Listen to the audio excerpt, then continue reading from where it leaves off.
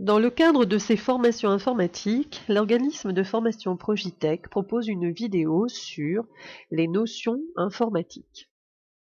Pour des personnes débutantes, il y a souvent confusion entre ce que sont un programme, un fichier ou un dossier. Un programme est un outil. On l'appelle aussi logiciel. Il sert à réaliser une tâche, à créer quelque chose. De la même façon que l'on utilise un stylo pour écrire sur une feuille de papier, on utilisera un outil pour créer des textes. Word est un logiciel, un programme de traitement du texte. Différents types de programmes permettent de réaliser différentes choses avec l'ordinateur. Un antivirus permettra de surveiller l'ordinateur. Un explorateur de fichiers permettra de fouiller dans l'ordinateur. Il existe des programmes pour créer des tableaux, pour créer des images, pour calculer, pour peindre, pour dessiner.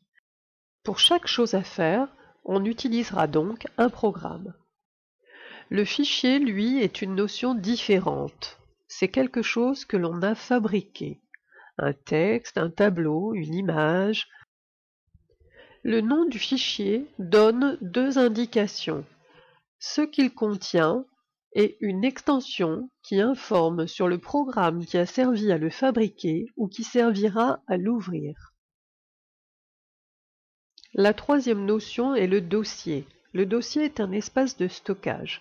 Quand on crée des documents, il faut pouvoir les ranger dans l'ordinateur de manière organisée.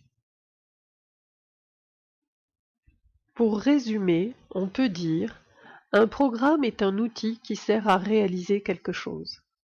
Un fichier est un document réalisé avec un programme. Un dossier est un espace où on range ses fichiers. On peut retenir je crée un fichier avec un programme et je le range dans un dossier. Merci d'avoir suivi cette vidéo Progitech.